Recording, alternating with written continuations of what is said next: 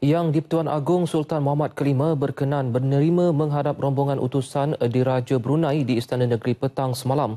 Rombongan bertujuan mempersembahkan warkah balas sempena istiadat pertabalan Yang di-Pertuan Agong ke-15 Isnin ini.